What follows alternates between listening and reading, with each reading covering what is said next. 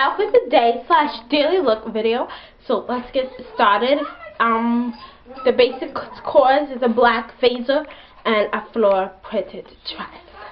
So this black blazer is from Tablet, something like that, but it's just a basic black. It has pockets it's really cute. It's actually really hot right now. But anyway, that's besides the point. Necklace is from Forever 21. It has a blingy feel to it. I got it in New York, so it's like really, really nice. I wear it with like a lot of. It's good for um jazzing up basic outfits like that. My earrings, I made them. Totally cool.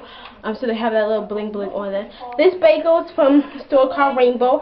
Then the clear one's from Target, and this one's from Nordstrom. That's totally cool. Then my dress I made myself It's just this sleeveless floor printed dress. I use a belt to cinch it at the waist just to make it more like form fitting because the dress that they use on the website is like really form fitting.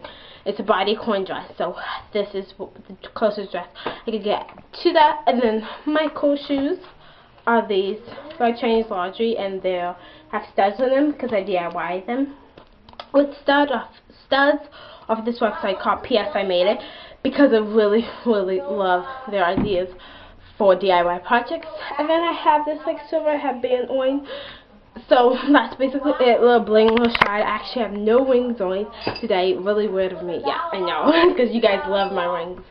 So thanks for watching this video. I know it's probably like a quick one, but I had to like re-record because camera was fuzzy. So hopefully this time is picture perfect clear.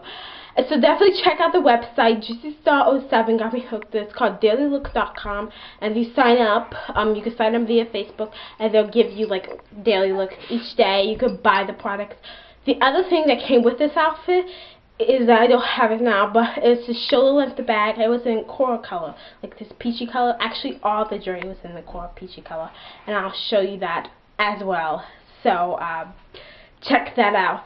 So it's all coral colors, so really springy look. So you know what you're gonna do? Subscribe this video because there's gonna be tons more videos like this. And then like this video, leave a video request or comment below. I'll talk to you guys later. Bye. I have a photo shoot for this, so definitely check out my blog, fashionobsessions.typepad.com, because you definitely see a photo shoot of that.